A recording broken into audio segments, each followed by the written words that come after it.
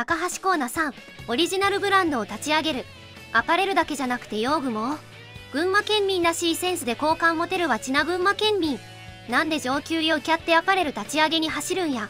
群馬県というよりいかに元野球やってた知り合いと組んでできた素人デザインって感じや。パワコミがある。メジャーでたんまり金もらえるから遊びだろう。勘違いしてきたね。株主はどう思ってるの？おじさんの色使いやん。社長が若めの工務店っぽいデザインゴルフとか好きそう。群馬ではこういう髪型流行売ってるの？見るたびにでかくなってくな。トップアスリートがいろんな社会問題に自分なりの形で貢献するビジネス的な取り組みは本当に影響力があると思う。